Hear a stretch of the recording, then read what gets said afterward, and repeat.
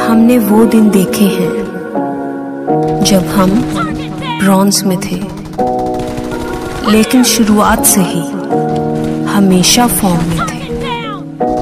कई लोगों ने बोला था कि तुम तो कभी गोल्ड भी पार नहीं कर पाओगे। और बस नूब भी कहलाओगे। बस फिर क्या?